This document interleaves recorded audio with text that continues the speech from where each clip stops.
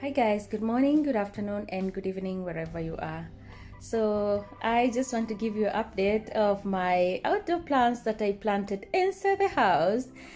And guys, I have a big problem because they have grown like crazy. The weather has totally refused to get warmer and better.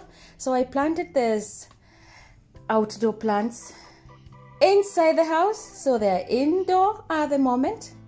And just look at this, how tall they are. They're even taller than Milo.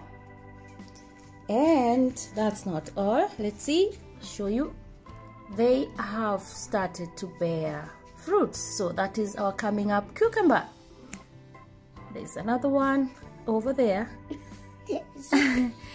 These are our Small. paprika. Small. They're growing bell pepper.